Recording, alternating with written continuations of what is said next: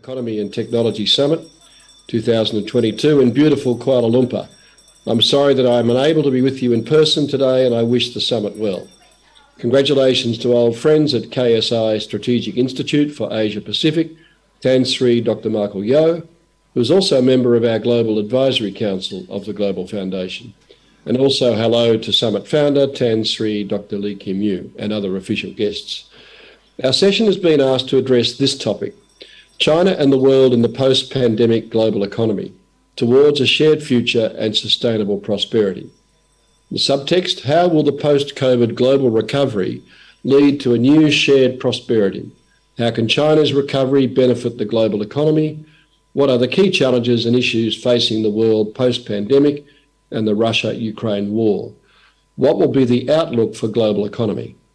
We have six outstanding panel speakers uh, two of them are still to join us, but I trust that they'll be with us by the time they're due to speak. I will briefly introduce each of them shortly and invite them to speak for a maximum of five minutes, giving us the benefit of their views on the topic. I will then pose questions to each of the panel before we open the floor to questions from those present at the summit. Please have your questions ready, keep them brief, and raise your hand to ensure we have the opportunity to invite you to pose your question. I'll then make some brief remarks before we close the session, I hope at the appointed time. Let me briefly introduce the topic to get us underway. Yesterday in Melbourne, Australia, from where I'm speaking, and online around the world, the Global Advisory Council of the Global Foundation held its final meeting for the year.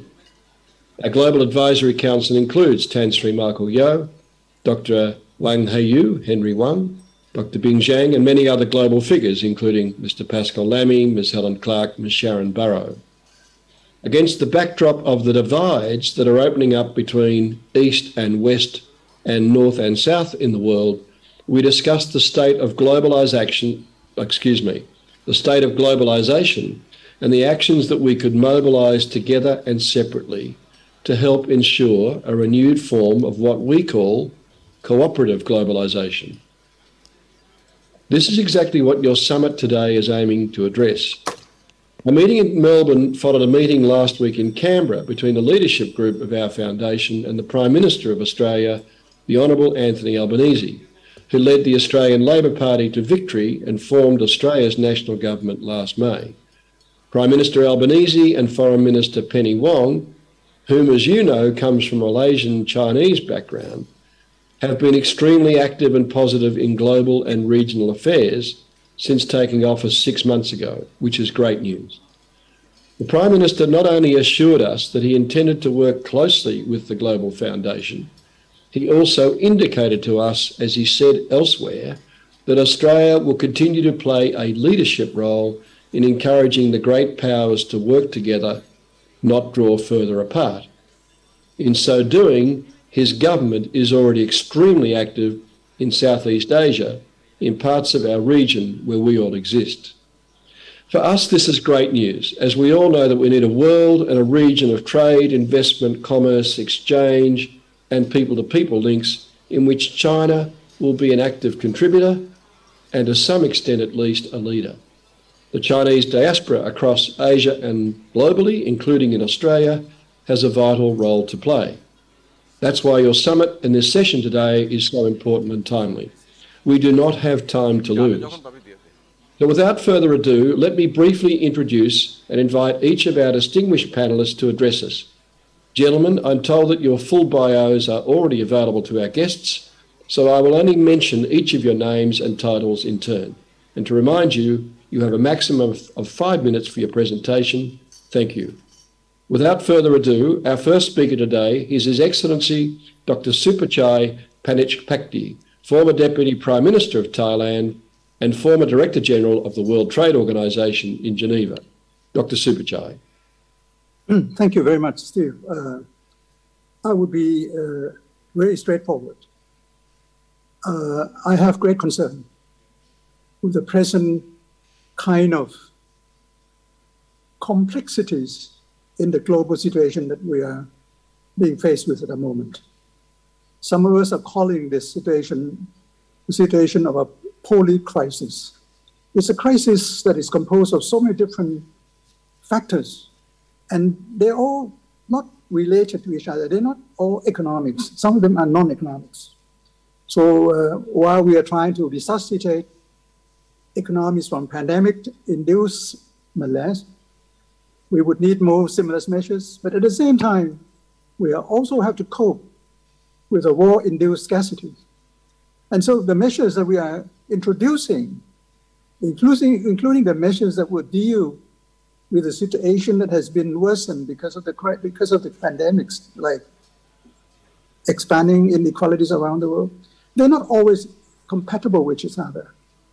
At the same time, what we fear, and at the, at the, at the UN level, we have always raised the issue that while we're trying to meet the targets of SDGs, so, uh, development goals, we have to work together. Goal number 17, I think, is global partnership. We're not seeing this being realized at all at the moment.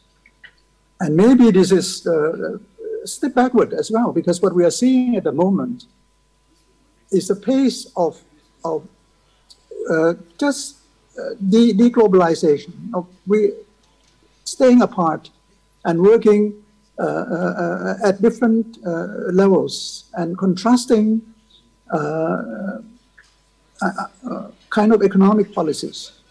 You can see the kind of interest rates tightenings in the West and in the East, in the less developed countries, they just couldn't cope because they are having to, to stimulate economy. They could not live so much with the with the, uh, the lower demand and the uh, the lower uh, amount of growth at, at the same time. So uh, what I'm suggesting is that at the time of this uh, crisis around, uh, you look at the new book by by our friend Roubini, the Dooms Doctors. He, he, wrote a new book on, I think, global catastrophe or something like that. Uh, it's 10 catastrophes. We mentioned different catastrophes. So numerous global, global, uh, global climate change, debt crisis, uh, geopolitical crisis, the trade tension between US and China and technology, technology war and things like that. Uh, another colleague of ours, uh, Larry Summers, he mentioned to us uh, recently he said this is the most complex, disparate, and cross-cutting set of challenges that he can remember in the last 40 years that he's been working. And I can go on and on, and uh, the recent summits in uh, Indonesia, G20 summits and uh, APEC summits in Bangkok demonstrate actually the kind of concerns that the global leaders have. So I will conclude. The thing is that what we need at the moment is to turn back, not to turn back, to turn back the tide against globalization.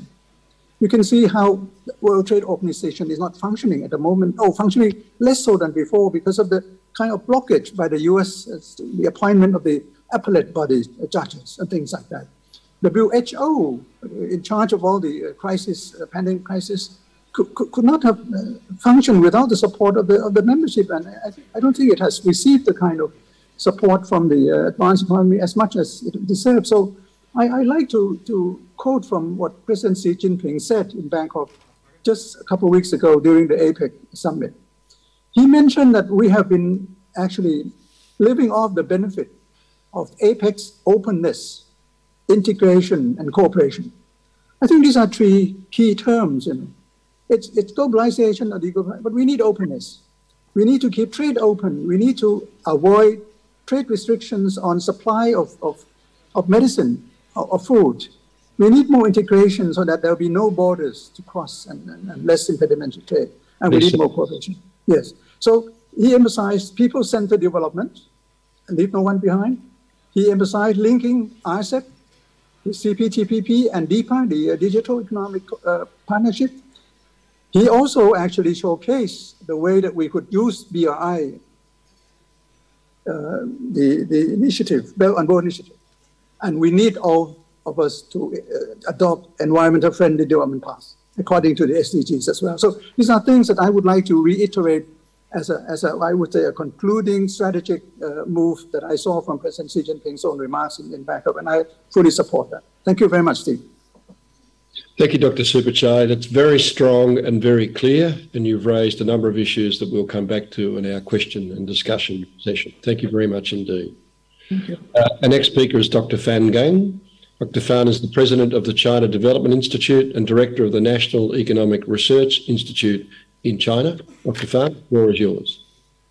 Well, uh, thank you. Thank you very much uh, for inviting me to join this uh, summit. Uh, our the title of our panel is about the post-pandemic, uh, but China is not in the post. You you may in the post, but we are not. Uh, the policies are changing, the, adjust, the adjustment are taking place. Uh, but before we reach the post uh, pandemic stage, uh, we will have very, very real challenges uh, in the next few months, I believe. But anyway, it, for the Chinese economy, which is not in a good shape now, we are facing quite a lot of the challenges. pandemic is one, U.S.-China relationships is a, a, very big, very big issue. Geopolitical uh, conflict and the global financial uncertainties, you know, uh, exchange rate, uh, commodity prices, uh, now the shrinking of uh, the global market because of the, uh, you know, hike of interest rate and all the challenges in the in in the short run. So this year, Chinese economy is not going to be 4% growth, less than 4%. And next year, hopefully, they're getting better, uh, but still, uh, it's a quite challenging. But at the moment, I think we we would we should you know look at the those more positive factors. Uh, I'm not going to talk about the global economy, but talking about, for example, the Chinese economy. Uh, we still have a quite a good you know, uh, uh, positive things. Uh, the, the first of all, China is not in a bad position in the global economy. Our uh, uh, inflation is low, so that gives the room for the policy maneuver. Uh, and the we still have a very strong export. We have a you know surplus. Some other countries now turn surplus to the to the deficit, we still have a very strong surplus. And Chinese yuan have been uh, relatively stable. Uh, so all those are quite uh, uh positive uh, for the for the long run growth. And also uh, the second part of the this positive things is, you know, we have some new global engines. I mean, the growth engines, technology development industries uh, this year, China's uh, export of the automobiles uh, reached a very high level and surpassed Germany and almost reached the level of Japan to export the automobiles. And China's uh, technology and equipment uh, for the for the new uh, new energies are quite productive. I mean, the panel, the you know, solar panels, uh, the wind uh, technology, the storage, the, the, the, batteries, you know, all those things are uh, very strong development. And that's for the, for the future is very positive. And other, other things, biotechnology, you know, AI, you know, all, all those things, uh, you know, digitalization of industries, particularly manufacturing industries is on the way uh, in a very good uh, positive, uh, you know, the, the, the, the changes. And the third part of the positive is that China need more opening up and globalization and multinationalism. China now is content by some large economies, you know, decouple, you know, try some economies try to decouple from China. And then China need more to, to open up, to have more corporations international uh, in that international market. So that's why uh, China have a new formula for the opening up. That's called the institutionalized opening up, uh, which included more engagement in the international cooperation. And RCEP start this year had been running quite a while. And I think the uh, very natural uh, China's uh, uh you know international uh, globalization uh, is to more open to the ASEAN countries. ASEAN now is the you know, lar- largest trade partner with China. So with the further opening up and other, you know, I'm not going to talk details, you know, very much, you know, on the service sector, financial sector, the China, you know, in the past two years have been really uh, institutionalized a lot of the opening up. So hopefully, uh, in the long run, I think I'm uh, uh optimistic. China will come back to the growth track, and hopefully with more international cooperation uh, engaged with other countries. I stop here. Thank you. Thank you, Dr. Fan, and we'll look forward to hearing from you in the question period because you turn from slightly not negative, but a difficult situation to saying there is a lot of positives to look forward to. Some are being achieved. This idea of China going through this new formula of institutionalized opening up is very interesting, and we can discuss that when we come back to it. Let's go to our next speaker, an old friend, Dr. Wang Huiyao, Henry Wang, who is the founder and president of the Center for China and Globalization and former counselor to the China State Council. Henry, thank you. Yeah, th- thank you. Uh, thank you, Steve. Uh, it's great to see you again. And also uh, all the distinguished panelists. And it's also great to, uh, to attend this uh, great event. Uh, thanks for the invitation. I, think I, agree. I echo quite a lot, few what the previous speakers' views. I think uh, the globalization is needs to be strengthened, and uh, we need to really uh, institutionalize more, mechanism uh, to, to promote that. I, I think there's a, there's a several observation from, from my personal uh, point. at first, I think that globalization is at a crossroad, but but if you're talking from Chinese point of view, I think now we are probably seeing at the end, light at the end of a tunnel. Now, I think that Dr. Fan mentioned. I mean, uh, China is not in the post-COVID period, but it's starting to to to uh, turn around now, and we we see uh, now in Beijing you don't need a PCR test to go to any uh, office buildings now or, or, or, public venues. So so that's a great thing, and uh, there's no more co- zero COVID emphasized anymore by Vice Premier uh, last week now. So so I think start, things starting turning around, and our office has resumed full functions work now since this week. So, so I'm glad to see that finally, even though now China has the highest uh, number of cases, but then there was no, no more uh, uh, tight situation like we used to see in the past. So that's po- first point. I think that really going to lead to uh, uh, a great uh, retaliatory, you know, economic growth. So, so I would say next year, China should at least have 5.5 5 percent or 6 percent growth that would be good news for the globalization and for the regional uh, development. So that's number one uh, uh, uh, point that I would like to make. Number two is that I see China now starting to really uh, busy engage uh, uh global leaders and dialogues and uh, visits. Uh, President Xi actually today is going to Saudi Arabia to attend China Arabic Summit, and and he just come back from APEC, G20, and we had a parade of global leaders visiting China about seven, eight of them just in the last one month. Uh, of course, we're going to have uh, uh, uh just last week, President Michel of, of EU was in town, and and maybe in January we have President Macron coming. So, so I, I see that. China, you know, actively re-engage the world leaders in face-to-face meetings would be a great uh, uh, momentum that uh, you know that we're going to probably make things put things forward. Thirdly, I think that uh, with the Asia Pacific uh, uh, really the fast developing economy, China being one of the backbone of, this support.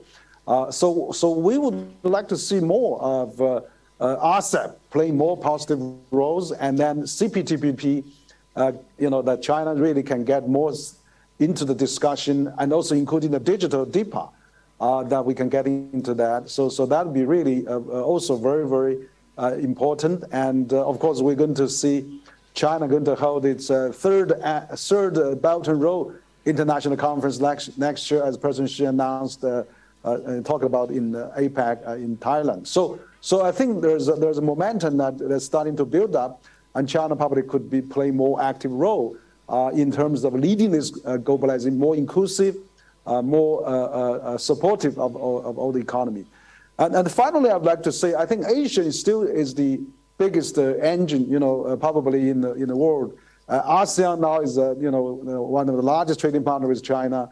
The integration of the region, you know, uh, is really important. So we shouldn't have those uh, uh, uh decoupling or, or cold, cold, you know, cold war mentality. Really, I mean, influence.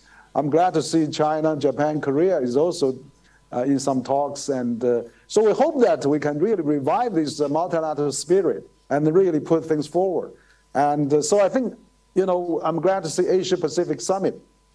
You know, APEC has been really first time uh, uh, have a such a re-emphasize Asia Pacific region is a very mature, very uh, developed. So let's really work on this APEC, RCEP, CPTPP. But let, eventually we have FTAP, you know, so that uh, China could, the US can, can work together. And also I hope that China EU uh, comprehensive uh, uh, agreement on investment, the CAI can be revived as well. So let's have more of this kind of a dialogue. So I, I really appreciate what uh, Dr. Shupa uh, just mentioned, you know, that uh, WTO should be strengthened.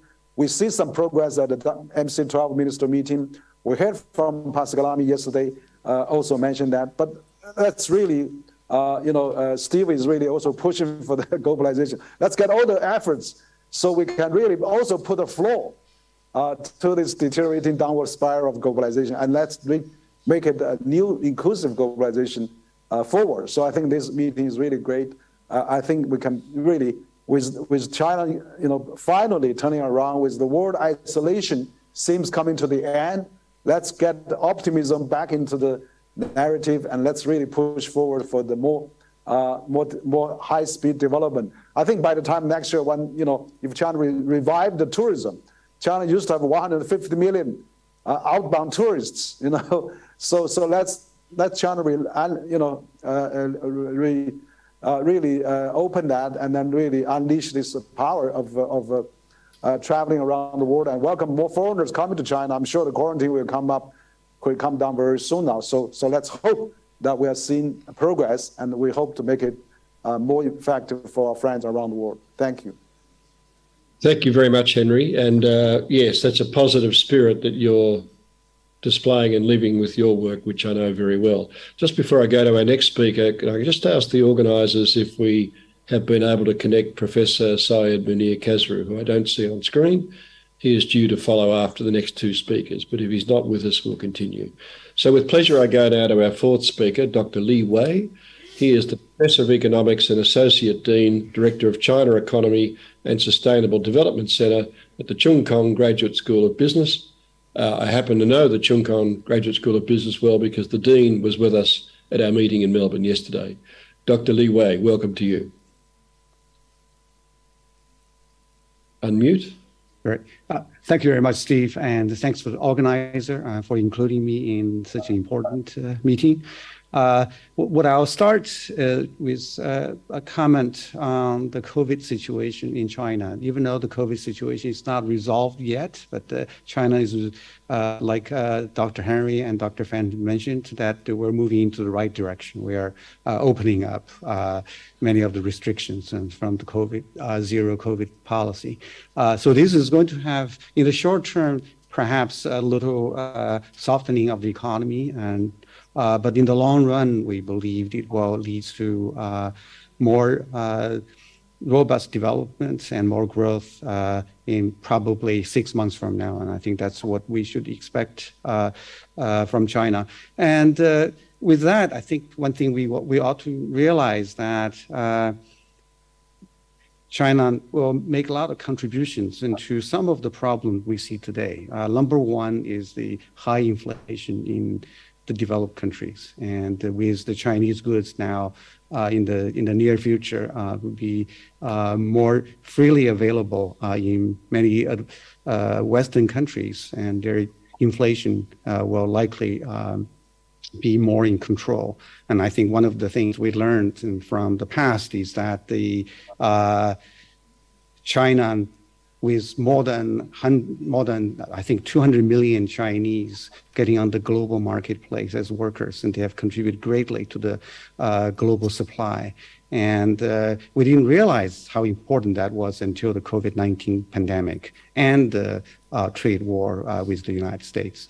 And uh, in the past, uh, with such increase in supply, and uh, China has contributed to much lower inflation, and in, in many in many cases, deflation in some countries, which led to uh, very aggressive monetary policy response.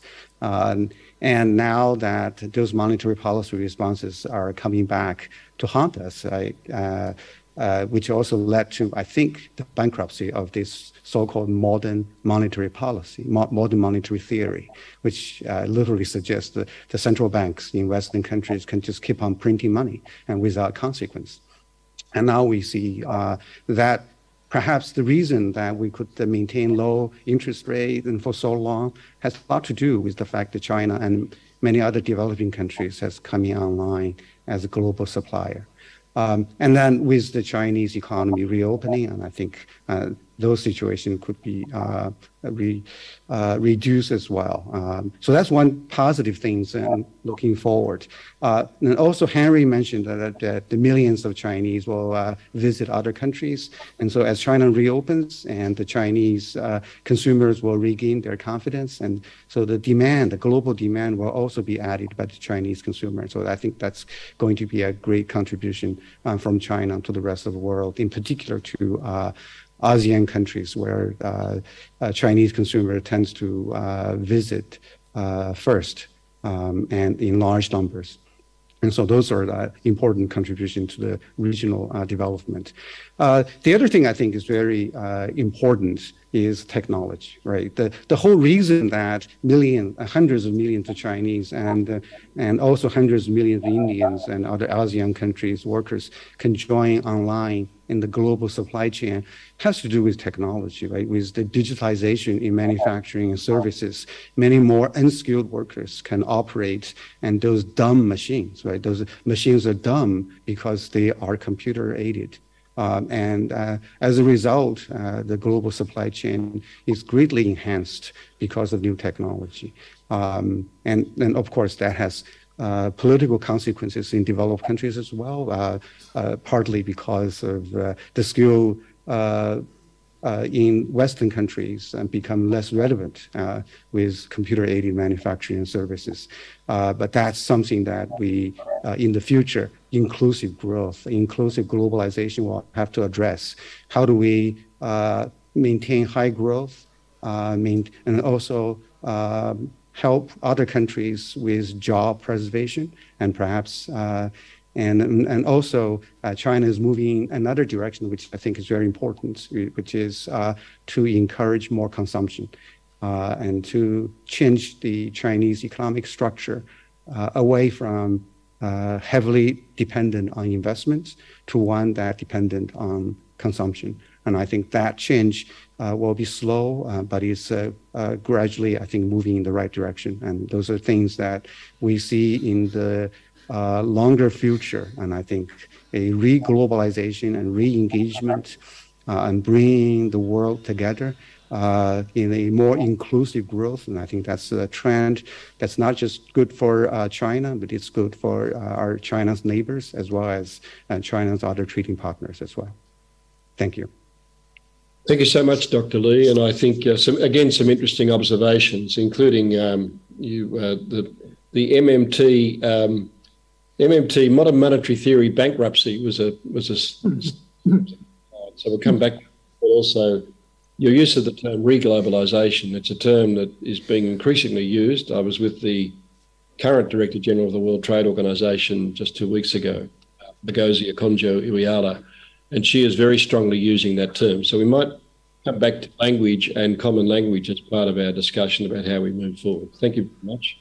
Um, I now invite, uh, and I think you have a slide presentation to support you, Dr. Edward Tse, the founder and CEO of Gaofeng Advisory Company in China. I'm handing the floor to you, sir, and can the organisers please allow Dr. Tse to show his slides? Thank you very much. Yeah, thank you, Steve. Uh, as um, the slide is being put up, I can start talking given the time limitation. Uh, so thank you very much for inviting me to this uh, conference. Uh, uh, next page, please.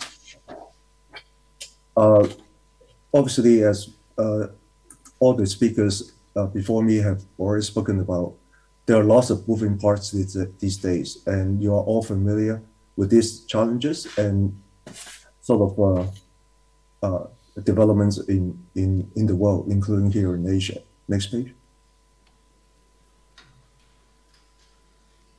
Uh, there are many moving parts, but in the new world, as we sort of talk about today, uh, inevitably a number of things will, will take place, will happen. One is the technology. In my view, technology will continue to advance and digital economy will play an even larger role than what's been so far.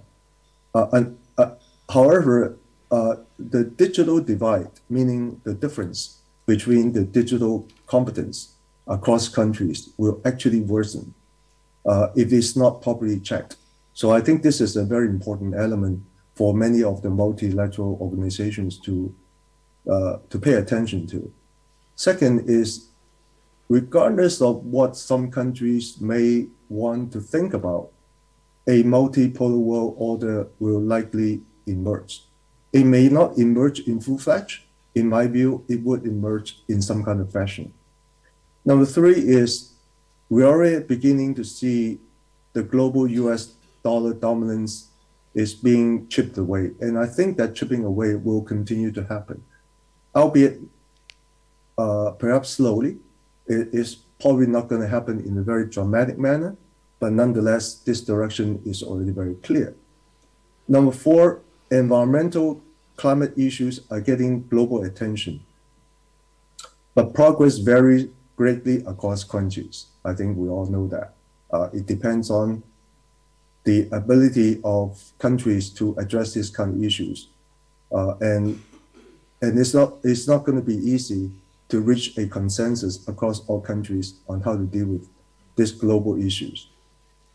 Um, while, in my view, while forces to participate to uh, to partition, uh, what a lot of people call it decoupling, will be around. There are forces that will drive decoupling. However, in my work with my many of my clients who are CEOs and senior leaders of big corporations, uh, in general, companies are not looking for decoupling. Companies uh, across the world are looking for more collaboration, and they're making decisions on more rational basis than perhaps some politicians. So I believe that forces to unite will stay in the new world and will continue to manifest. Next page. In this context, China's role will become even more important. It's already the largest trading nation with a large number of countries. We all know that. Chinese style modernization, which is now epitomized by the Chinese leadership as the framework for making progress in the new era with speed and intensity. And this actually is a continuation of the thought process of the Chinese leaders over the last decade or so in its search for the modernity with Chinese characteristics. But now they have turned it formally as Chinese style modernization, which is, an, in, a, a, is a comprehensive and inclusive way of thinking about how to make progress for countries, but also for humanity. China could become the anchor for what I call globalization 2.0. Uh, you know, we can also call it re-globalization, but I believe that globalization 2.0 would be different fundamentally than what we saw in what I call globalization 1.0 in the last 30 years. But nonetheless, it, in my view, the logic will push for globalization going forward. And in this new era of globalization, China would become even more important and could become even the anchor of it. 30 seconds, thank you. Yeah, okay, right away. China's innovation will create significant impact in other parts of the world, including in Asia, in particular in Asia, actually. An increasing prominent role of global affairs, regional blocs, and BRI. Next page, finally. Uh, in my view, business logic, I'm talking about business leaders. Global companies are a major force in the world, not only about it's not only about politicians or countries, but global businesses also play a major role. Ultimately, business logic will prevail. Global issues like climate change, pandemic, will affect everyone. Megatrends such as great power, arms race, technology, digital divide are creating bigger gaps between the haves and the have-nots. Globalization 1.0 benefited many people in the world. Globalization 2.0 is a much better vision than small clubs with friends. Finally, creating a shared future for the humankind requires wisdom from political leaders, but business leaders will always make the decisions based on business logic. That's the end of it. Thank you. Thanks. Thank you very much indeed for what I would call a lot of wisdom in your presentation. And uh, let's return to those topics in the questions and discussion session, which are very positive and uh, also very encouraging. And I see some patterns emerging from our speakers. Now, the good news is that our sixth speaker is with us. He's actually physically present and I think online. Professor Syed Munir, Munir Khasru, the chairman of the Institute for Policy, Advocacy and Governance in Bangladesh. Over to you, Professor Khasru. Uh, thank you. Uh, good morning. Uh, first of all, I would like to thank the organizers of Global Chinese Economic and Technology Summit. It's good to be back in the pro, I wouldn't say post-pandemic, we're getting out of there, we are not yet, and good to see many of the friends and colleagues around. And I was listening carefully to some of my previous speakers. So in the next four or five minutes, what I'll try to do is to give you a quick recap of what's happening globally, particularly in the sphere of developing countries, what are some of the immediate challenges, and what China specifically can do. Uh, we live in rather very interesting times. On one hand, we have the digital transformation, and we knew, we all of us know that how the pandemic has really accelerated digital transformation, and the growth has been phenomenal. I mean, if you look at the last two years, uh, the growth of internet users jumped somewhere between 17 to 20 percent, whereas it was only 7 to 8 percent in the pre-pandemic years. But what has happened, unfortunately, though, uh, because of the pandemic, many of the developing economies have taken a heavy hit. And the Sustainable Development Goal, SDGs, as we know, the Agenda 2030, is far, far behind the schedule and hanging by the thread. And many of the progress we have achieved in the MDGs have taken a reverse uh, turn. So what has happened, many developing countries, which were hovering around 5% growth before the pandemic, has shrunk into below 3%. And add to that the Ukraine war, the supply chain disruptions, the soaring energy prices, food prices, these are rather very challenging times. And we are in a situation where people in Europe are struggling how they're going to cope with the winter. And we are seeing uh, from Europe to Asia, people scrambling for energy sources. At the same time, many people in South Asia, Southeast Asia, Africa, struggling to put food in their table. So we have a very diametrically opposite world that we are moving, unfortunately, as opposed to the post-pandemic recovery, reboot, and transformation that we all we are hoping for. So these are rather very interesting geopolitical situations, and you cannot uh, sort of isolate one with the another. These are very highly interconnected. So we are having impact on inflation. We are heading towards recession. So it will take a while before we are out of the woods. And in this challenging situation, unfortunately, we are entering more and more in a rather divisive world.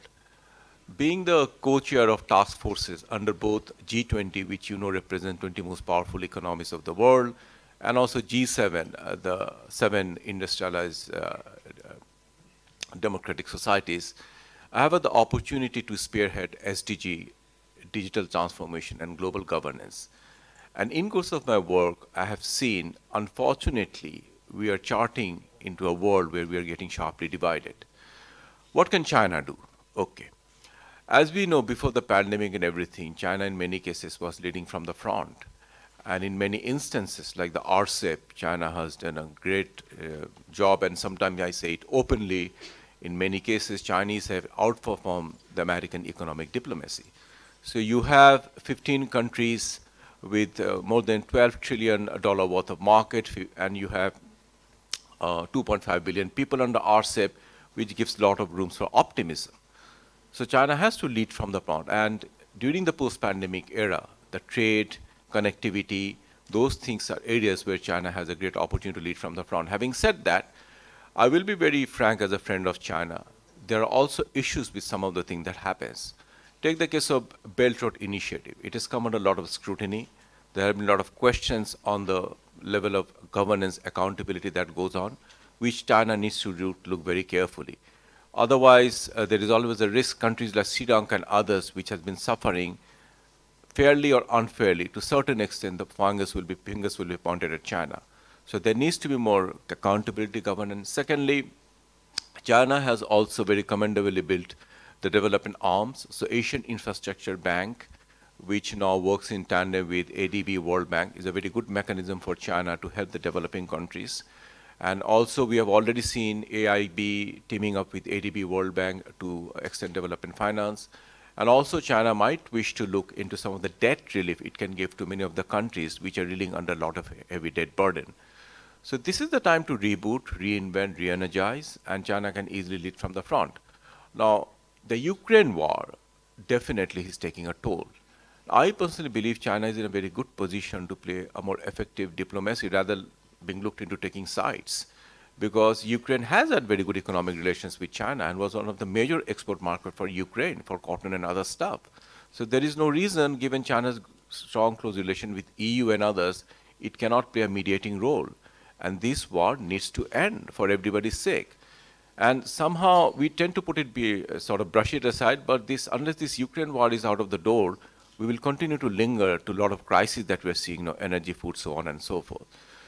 And digital transformation is a big issue, and China can definitely play a big role here. There's a huge digital divide, even as we meet.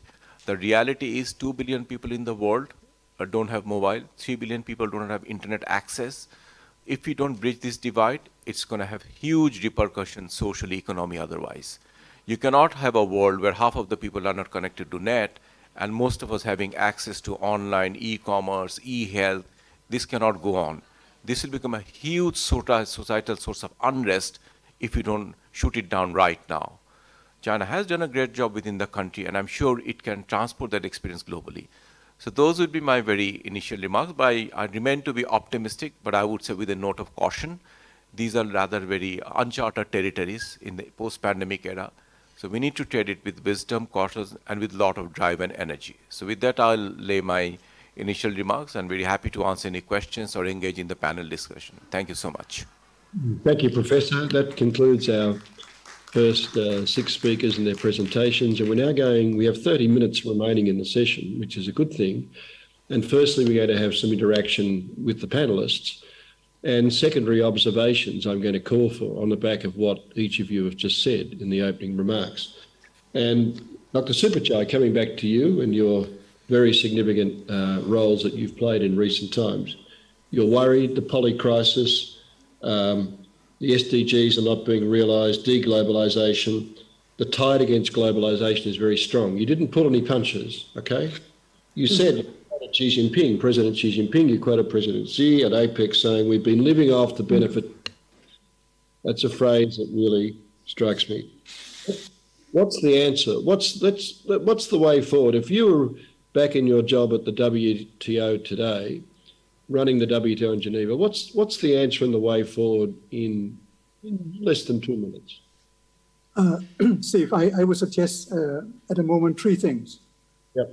uh, that should actually help to deal with the, what I call the uh, poly crisis and to bring us back together uh, in terms of uh, trying to create this, what, what you said about the re- reglobalization process. The first one is that uh, we should have the kind of summits. I mean, I have seen so many summits in my lifetime, and so many summits have been useful when leaders can meet and actually uh, have a dialogue to reconcile the differences. But the last few summits, uh, I think we should not waste them. Uh, so my first suggestion is that we, if, if we can work towards maybe UN sponsor summits or any summits that only exist with very specific topic.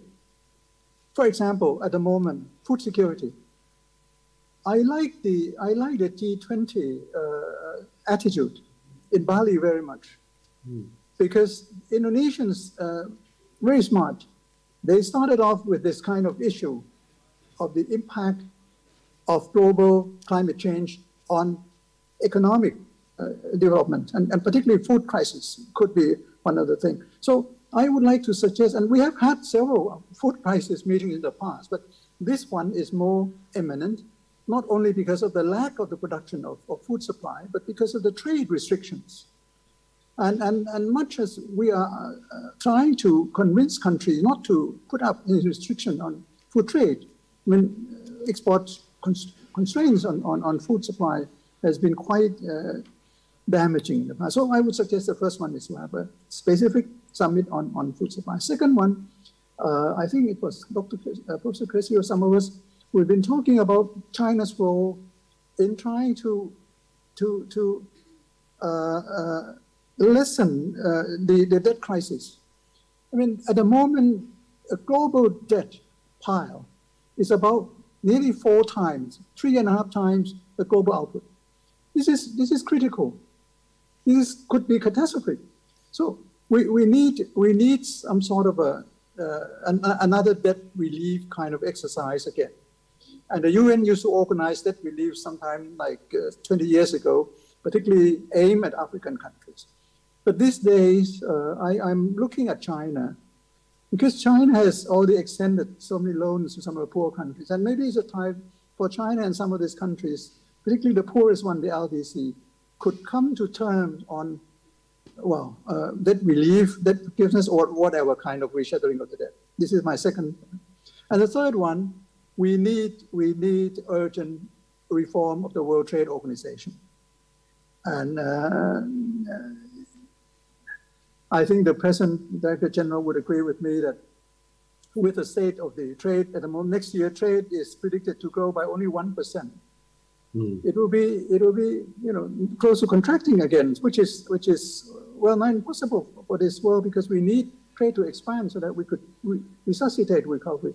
So we need to, to reform the WTO in a serious way, and not only to do reform of the WTO to, to, to do something against the Chinese economy because it seems to be that the, the proposals of the Western countries to reform is all about state enterprise, state-owned enterprises and subsidies and, and technology thefts and all this sort of thing. I think we have to be honest with the way that the WTO has to function well in terms of getting everyone to be heard and, and getting on terms with a real situation at the moment which is a crisis in, in, in, in medicine supply, the application of TRIPS, and all the sort of things. So we need to have a reform so that the WTO can be really operationalized again, and not because it could, it could be blocked by some major economies. Thank you. Thank you very much indeed. Dr. Fan, turning to you and your earlier remarks, and let's go back to some things you said. China's moving from a challenging phase into a new growth phase. There are very good signs regarding uh, for example, global auto exports from China. Green tech is a major player for China.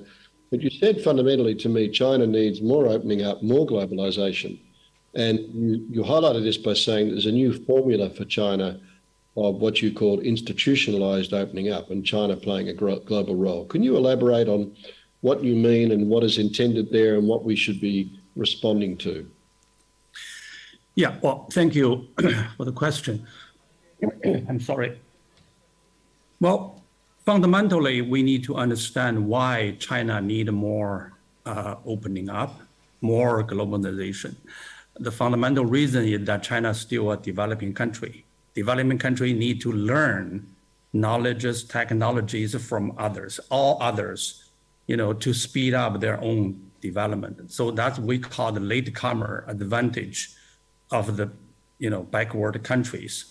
Uh, China now have some capabilities of innovation, but basically we are still in the stage of learning, stage of import, you know, try to uh, to invite the, all the knowledges, technologies coming into the Chinese uh, economy. So that's a fundamental. That's why when some uh, some some country want to contain China, want to cut off, you know, decouple and cut off the supply of technology, you know, uh, you know, stop the uh, academic exchanges and even stop the, you know, uh, uh students go out, you know, go to the certain uh, uh, certain professions.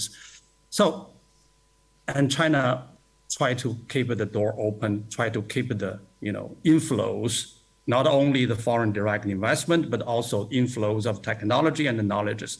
That's fundamental reason from the point of view of economic, you know, development economics. And then you talk about the institutionalization of the of the opening up. Uh, uh, it's not a clear formula, but think about the three elements. Number one is the institutions of international treaties. You know, Dr. Supachai is here. China benefit a great deal from WTO accession. And the reason for that is that WTO provide a binding international system for China. And China can use that to provide a kind of the, the rules of games for the domestic players. You know, China has a big, big economy. You know, the, it's managed by the different ministries and the different local government.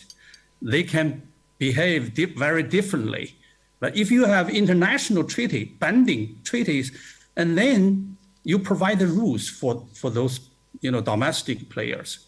So that's more transparent for investors as well and the trade, you know, trade companies.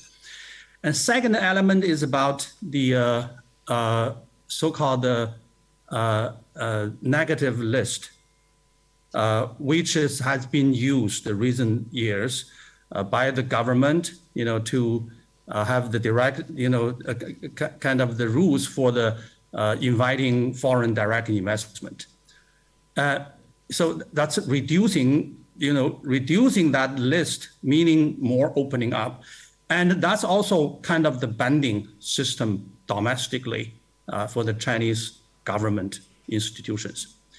And the third element is, of course, more uh, regulations and the legal um, legislature uh, on the trade, domestic, uh, uh, not only domestic market, but also for the trade, for the for the internet trading, and for the investment, foreign investment, provide more transparency for the investors.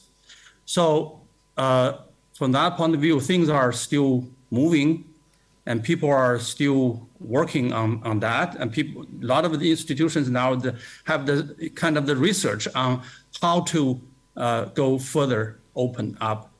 But you can see Chinese, Chinese government now really doing something. Well, they support WTO re, reglobalization. Uh, they uh, promote uh, the RCEP uh, in the in the uh, in the past years. And then they now uh, people talking about uh, the, the, the CPTPP, you know, possible China joining the CPTPP, uh, and all all those kind of things. And uh, China is now have Hainan Island as a, a so-called the, the the free port. Uh, that that kind of development is uh, quite a quite a you know interesting uh, for China to not only to, to have a more opening up of the trade system, but also uh, provide more opportunities for the domestic, uh, uh domestic regions uh, to learn from those kind of the free trade uh, system. so that's why I, I said it's a it's a kind of you know a new frontier of the China's global engagement. Thank you very much indeed. Elaboration, clarification. Wang Huiyao, Henry Wang, you are very positive and optimistic in your views. You are living the idea of globalization that needs to be strengthened with your work. Um, inclusive globalization, it's, a, it's another way of seeing about reducing imbalances and uneven. And you've talked about the various trade agreements that can strengthen up the links that are weaker than they should be. Um, and also, you talked about China playing a bigger role in globalizing. What what do you mean exactly? What what could you add to the conversation so far that China, the role that China could play? I mean, I was involved in the formation of the Asian Infrastructure Investment Bank very happily.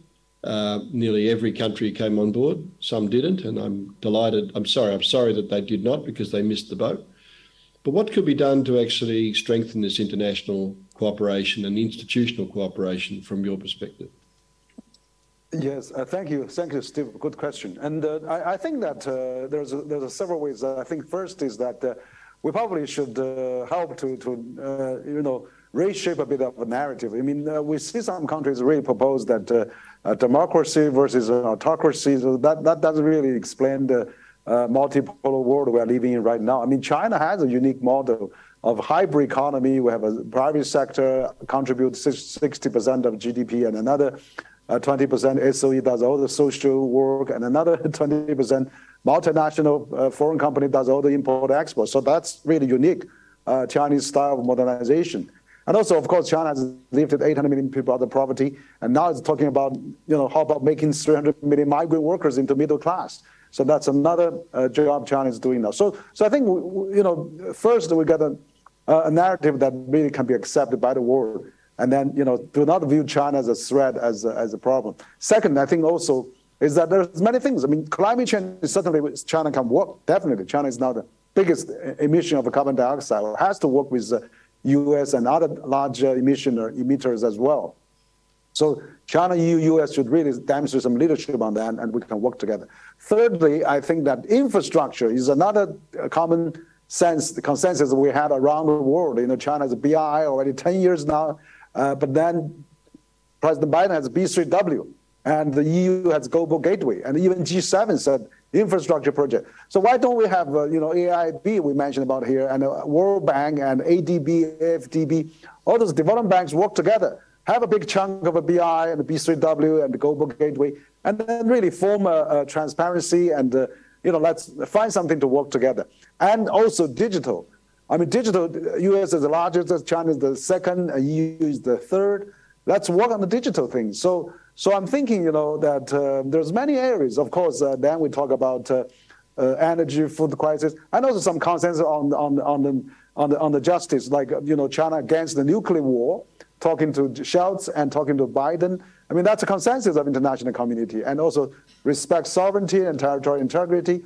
All those are great things. So we should really, you know, have a common denominator and minimize the differences and find a few good projects to work on, uh, revive the multilateral spirit and have a new Bretton Woods moment, uh, you know, after 75 years of, uh, of Bretton Woods. So, so I think many things we can work on. And dialogue like this and, uh, and narrative like this is really important. So, so I appreciate that, uh, you know, APEC and, uh, and, and ASEAN and you know, RCEP, CPTPP, and all those mechanisms can play more role. AIIB and uh, BRI, B3W, and all those mechanisms, put them together to strengthen the globalization architecture and mechanism.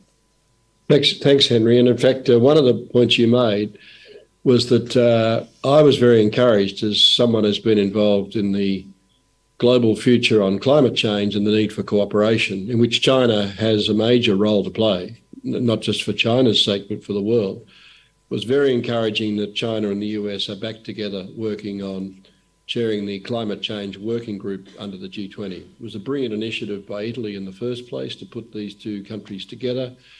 And, you know, there's no future on issues that affect the global commons without China and the US working in some ways together. And your point is we should take a lead from those things where we can find agreement and work on those things that we have in common. Thank you very much indeed. Dr. Li, uh, I did say earlier your comments about modern monetary theory and monetary policies in the West and the bankruptcy of modern monetary theory was that's very interesting because you said it very strongly, as well as quite positive things about the way in which um, technology is developing, China encouraging consumption over investment. You, would you like to elaborate on uh, monetary policy as it has been practiced, at least in the West in recent times? Because I think it's a very important um, point of difference that may need to be addressed. Thank you. Uh, thank you. Uh, that's a very uh, uh tough question because I, one of the things uh, uh, we've been working on for many, many long years has been trying to understand why in the West we have very low interest rate for so long and it didn't seem to bring out inflation. And, and that's really puzzling and for quite some time. And I think the pandemic and also the, the China-U.S. trade war created that opportunity for us to look at this, right? Uh, the pandemic in particular is like an earthquake.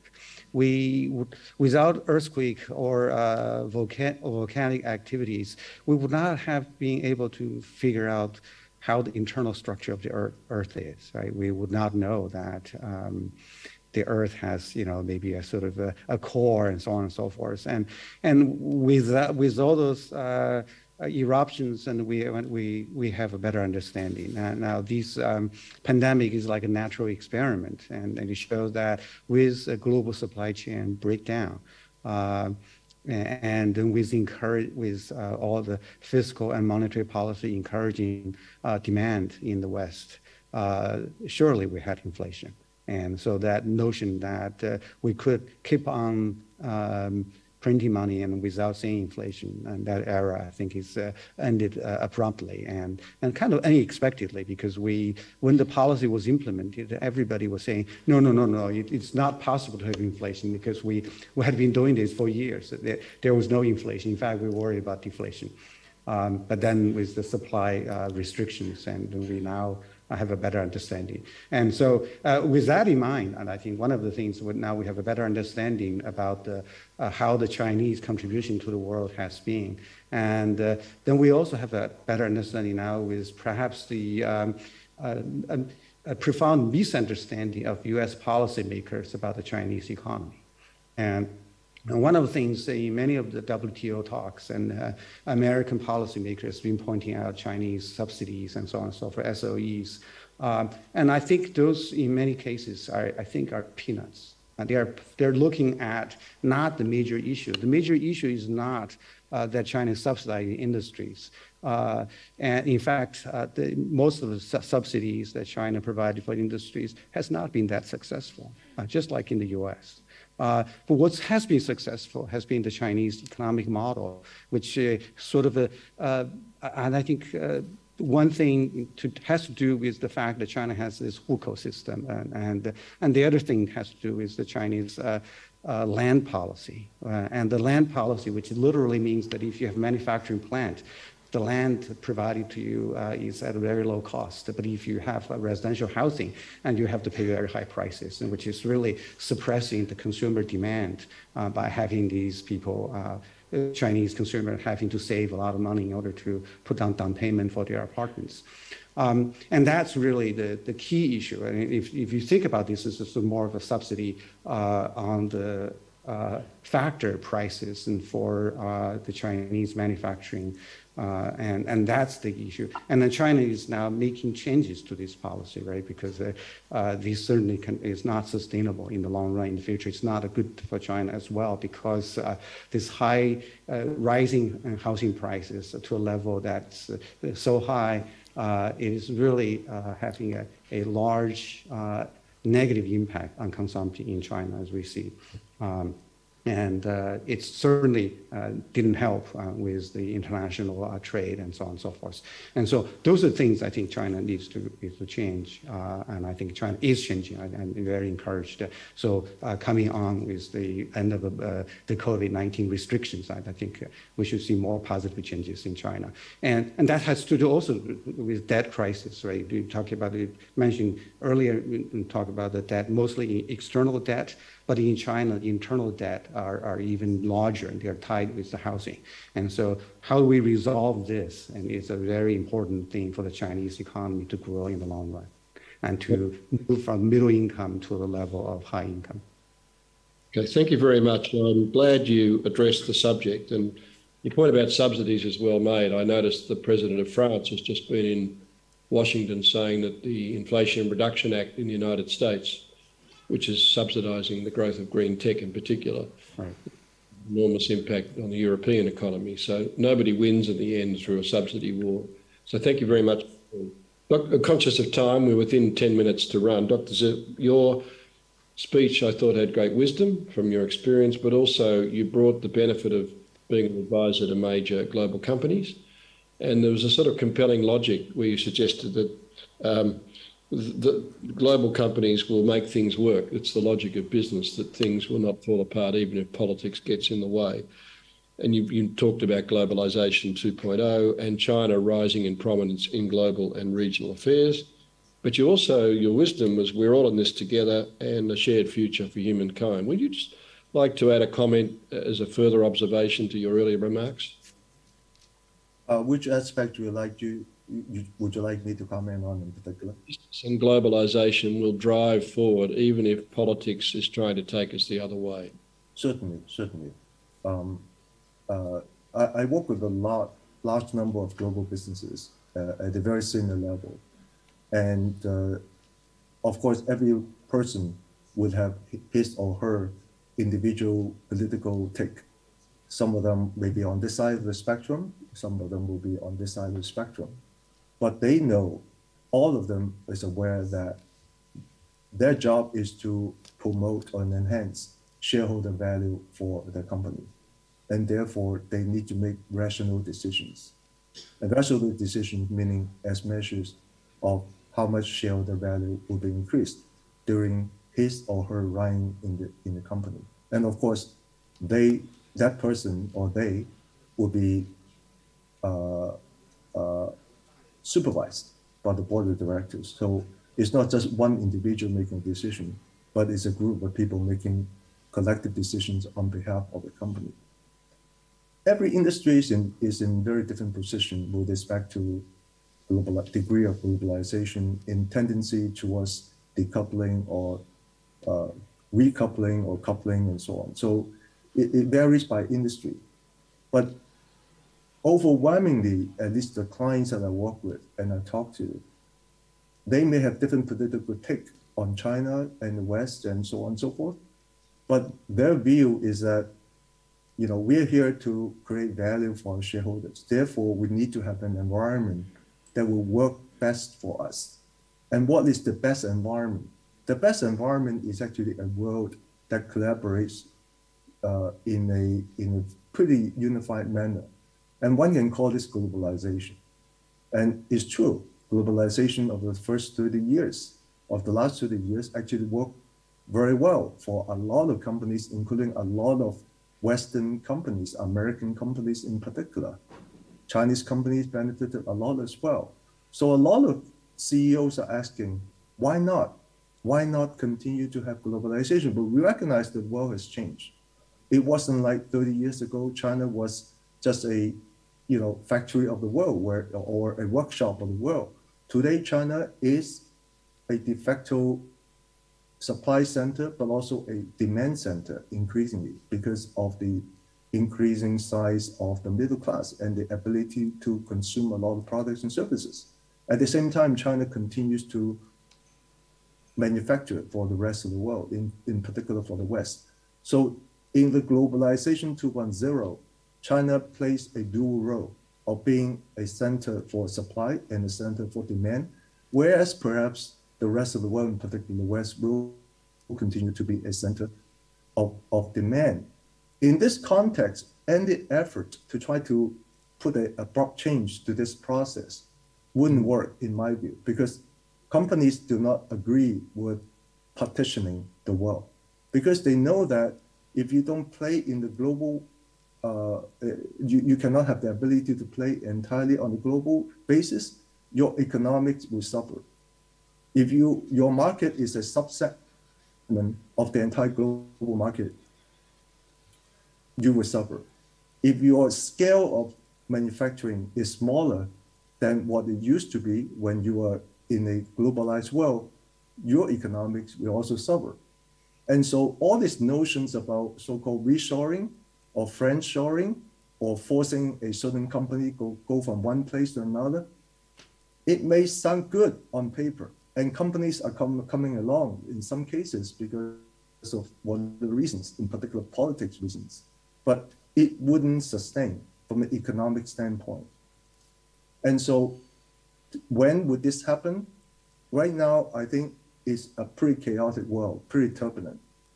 And we're probably going to see continued turbulence for the next three, five years. But over time, economics or business sense will drive things back to a certain a, a certain era of normality.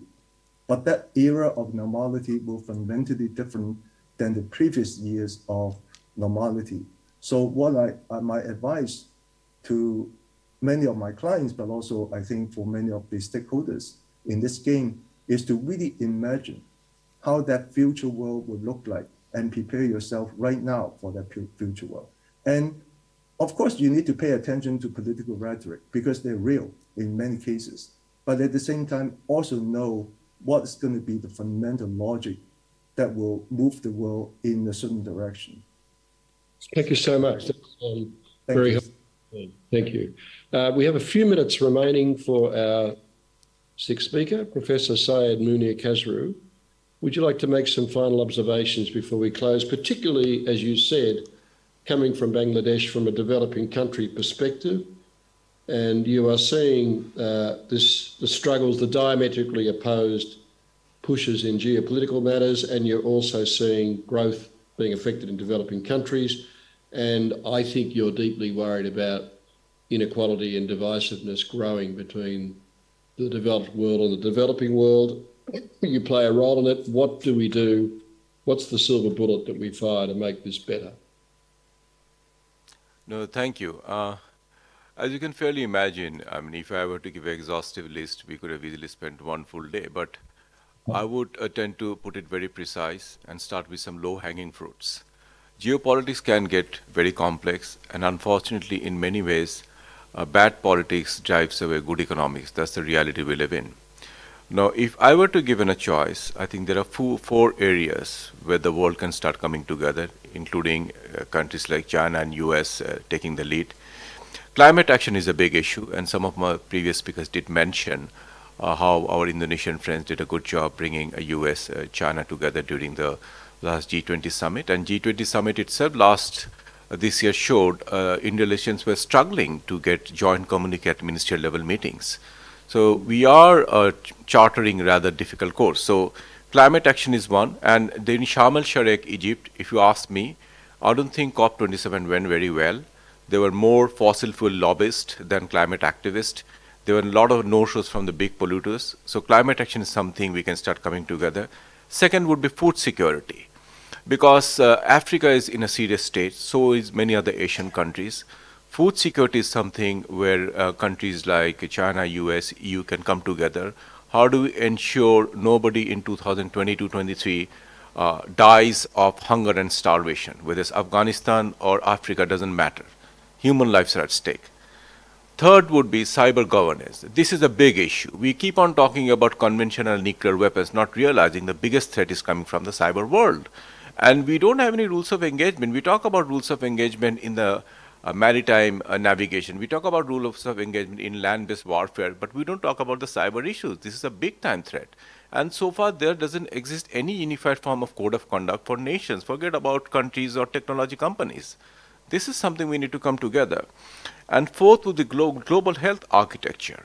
My last point, because the pandemic clearly showed the lack of clear global leadership. US was reeling under President Trump with no clear sense of direction. EU was fighting within itself with IP rules, who exports, who imports. So there was a clear lack of leadership during the pandemic, which led to, unfortunately, the death of 15 million people. Deaths could have been less, suffering could have been much less. So these are four areas which I think we can start coming together, climate action, food security, cyber governance, global health architecture. I think these would be four areas where hopefully we can try to come together as we try to recover from the pandemic years, as hopefully we try to move beyond the Ukraine war. Thank you. Thank you so much, and also for being concise in your four points. We are within one minute of our expected closing time, so we won't be able to take questions from the floor, I regret. But the flip side is that we've had brilliant contributions from these six panelists, all very skilled and expert, and also very frank in their observations and comments. I'm very grateful to you all for what you've had to say today. There's a there are a few common threads I won't attempt to summarise in the short time left, but working together rather than apart will make a big difference. We have no choice. There are some issues that affect humanity as a whole, such as climate, feeding the world, cyber, uh, even outer space issues like water, where we have no choice but to work together. Secondly, imagining a future without China involved at the centre is impossible. and therefore we must do all we can to make sure China is both able and encouraged to be a global contributor and in some cases a global leader. And therefore those who are involved from particularly this region of the world, in the corridor in which Asia lies, and I prefer to hear the term Asia Pacific said more often. I hear other phrases used quite a lot. I think Asia still exists and it's a very important corridor in the world in which I happen to live and most of us live in. So, look, can I thank the organisers for bringing together quite a brilliant panel? Can I thank the panellists for outstanding contributions and some ideas that I think feed into the work of all of us, including our own work at the Global Foundation, chipping away on these global uh, co- collaboration, whether it's globalisation 2.0, whether it's reglobalisation, cooperative globalisation, it is all the same thing. We need a world that's joined up and it will be new and different, but we need to adhere to some principles of working together. Thank you very much and good afternoon. Thank you. Thank you. Thank you. Thank you.